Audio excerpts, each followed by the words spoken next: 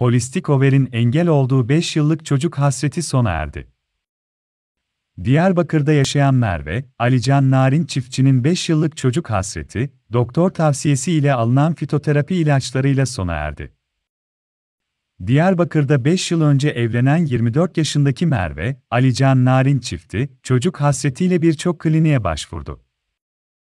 Polistik over rahatsızlığı nedeniyle çocuk sahibi olamayan çift, arkadaş tavsiyesiyle başvurdukları kadın doğum ve tüp bebek uzmanı Profesör Doktor Hakan Çoksuer'in fitoterapi ve akupunktur ilaçları ile düzenli tedavi sonucunda müjdeli haberi aldı.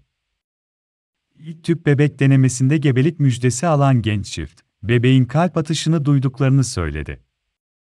Çocukları için hazırlık yaptıklarını belirten Narin çifti, evlerindeki matem havasının bayram havasına dönüştüğünü kaydetti.